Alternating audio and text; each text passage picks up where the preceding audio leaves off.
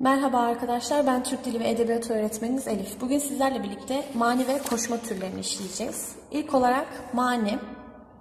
Başta aşk olmak üzere hemen her konuda yazılabilen halk, ede halk edebiyatı nazım türüdür. E, dört dizelik bir bentlerden meydana gelir. E, çoğunlukla hecenin yedili kalıbıyla yazılır. E, kafiye dizilişi de AA İksa yani 1, 2 ve 4.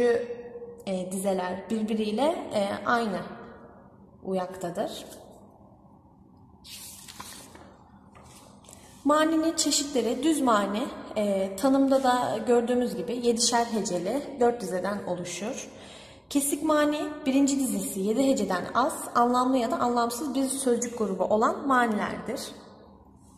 Cinaslı mani, e, kesik manilerde eğer kafiye cinaslı ise bunlara biz cinaslı mani diyoruz. Cinas, e, yazılışları aynı, anlamları farklı olan e, kelimelere diyoruz. Yedekli mani, diğer bir ismiyle artık mani, düz maninin sonuna aynı kafiyede iki dize daha eklenerek söylenen man manilerdir.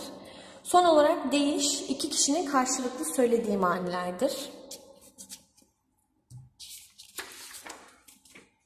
İkinci türümüz koşma, aşk edebiyatı nazım biçimidir. Hecenin 8'li ve 11'li kalıplarıyla yazılır. Kafiye örgüsü A, A, A, B, C, C, C, B, D, D, D, B şeklindedir genellikle. Dörtlüklerden oluşur. Dörtlük sayısı 3 ile 6 arasında değişir. Konuları tabiat güzellikleri, sevgi, aşk, özlem, gurbet, ayrılık vesaire bunun gibi e, konular işlenebilir. Genelde şiirin içinde şairin mahlası bulunur. Yani takma ismi şairin ve biz bunlara tapşırma diyoruz. Kullanılan dil sade, anlatım yalındır. E, ezgilerine ve yapılarına göre e, ikiye ayrılır koşmalar. Ezgilerine göre Ankara koşması, Acem koşması, Kerem, Kesik Kerem, Gevheri, Sümmani.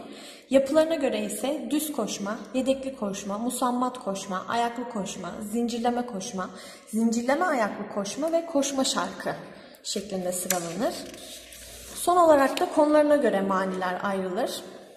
Bir güzelleme, insan ve doğa güzellikleri işlenir e, bu koşma türümüzde. İkincisi koçaklama, savaş, yiğitlik ve kahramanlık işlenir ve coşkulu bir anlatımla e, anlatılır. Taşlama, yermek demektir. Bir kimseyi yermek veya toplumun bozuk yönlerini iğneleyici bir dille eleştirmek için yazılan şiirlerdir.